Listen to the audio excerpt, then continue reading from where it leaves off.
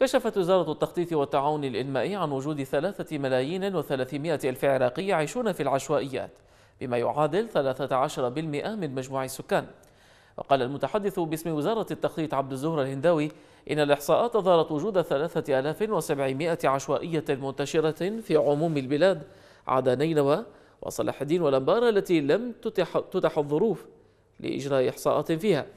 وأوضح هنداوي أن بغداد المركز الأول بمعدل ألف عشوائية تليها البصرة بنحو 700 عشوائية وأضاف أن العشوائيات في العراق تمثل ملفا شائكا وضاغطا على عمليات التنمية لافتا معارضة عدد من النواب لخطة طرحت من أجل حلها.